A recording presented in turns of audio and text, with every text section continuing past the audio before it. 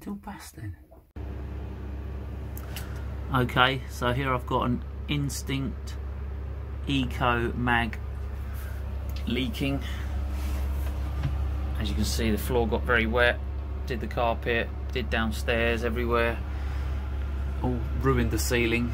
Uh, and it was leaking out of here, just out of that bit, which is where the magnet goes in, and it goes inside a plastic sheath, which is part of this bit. So if you dismantle yours, you'll see that that all comes apart and you can clean it and stuff if you isolate it there. But mine has been leaking for ages out of this bit. It's, it's not now because I've changed an O-ring on the top. You see that O-ring that's squished in there? I've changed the O-ring.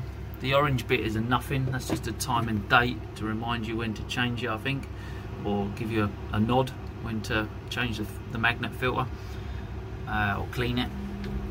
So yeah, the, plas the plastic orange thing does nothing. That's a bleed screw.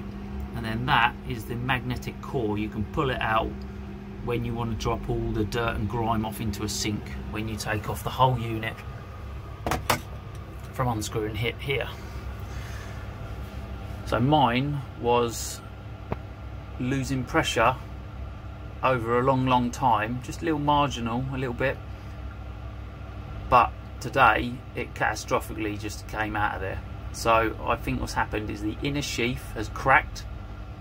It's got to the magnets. The magnets are rusty. And then it's coming up the core of the magnet through that flathead screwdriver plug. If I was to undo that, I could show you. Um, I'll do it in a minute. So now mine isn't losing pressure, but it was on zero this morning and it was gurgling and gargling away and that's when I realised that it's ruining my ceilings and my floors and my carpets in this cupboard. Looks like it's an online problem. The Eco Mag isn't made anymore, can't buy it. I'll probably just change it out for another one like a Defender Mate or something, providing it's the same thread here. That'd be handy as a straight swap for a new mag. But the fact they're not making them anymore, maybe that's because they keep cracking on the internal sleeve and then leaking up the magnetic core. So that has been a bit of a pain and looking online it's happened to two or three other people leaking from the top and they're always coming out there underneath that orange cap there's nothing. There's nothing to come out there. It's just literally a cap for a date. And that's what's been happening. And it was just the seal was extremely flat. It's not meant to seal it I don't reckon. I think that core is meant to be dry but my magnets inside are rusty corroded. They shouldn't look like that. That's where the water's been getting into that inner sleeve and then it's leaking up the top. And as I said it's been for me losing pressure for a long time. I've been topping it up every couple of months. And that's probably where it's been leaking from. So with any luck now yes it's a temporary fix for an, a rubber seal and I've fixed it. But ultimately you will need a new mag. Because my I'll show you my mags now they're all corroded. Alright, I've just unscrewed it. These valves are off so no more pressure can come out.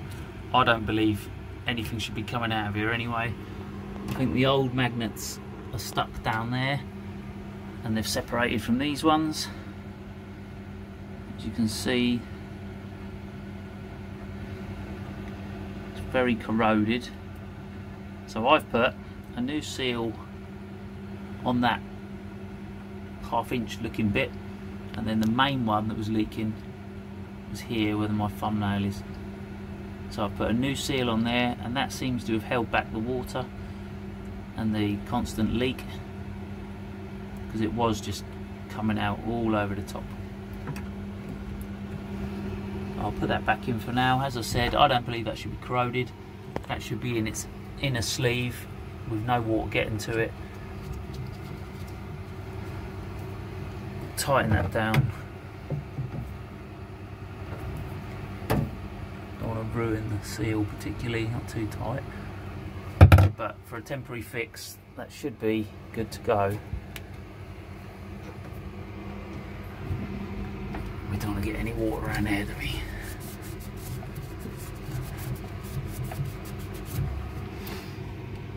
Now before, that was all running around the top, coming out. So yeah, I'm going to get a new one anyway.